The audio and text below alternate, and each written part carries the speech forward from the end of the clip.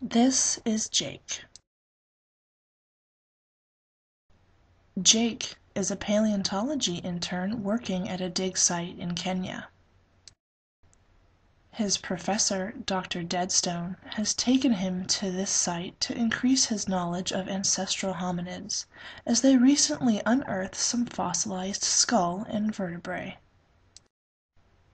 Hominids? Jake wondered to himself. What are those?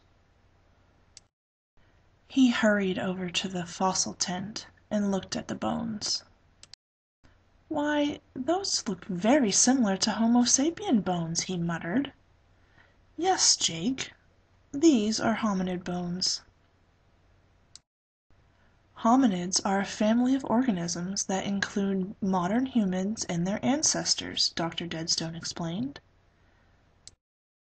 In fact, by using radiometric dating, we have determined these fossils to be about 2 million years old. Jake paused. Radiometric dating? Hmm. I know that the suffix metric refers to measurements, and the prefix radio means radiation. So, therefore, radiometric dating must mean using radiation levels to determine the age of an object. Very good, Jake, Dr. Deadstone said. We also know by the bone shape that this creature was a hominid, and that he or she was also bipedal. Bipedal means that this creature walked just like modern humans walk today. Jake asked. Well, what if the fossils show no sign of radioactive molecules disintegrating to give off their radioactivity? Dr. Deadstone smiled and explained to Jake that scientists also use stratigraphy.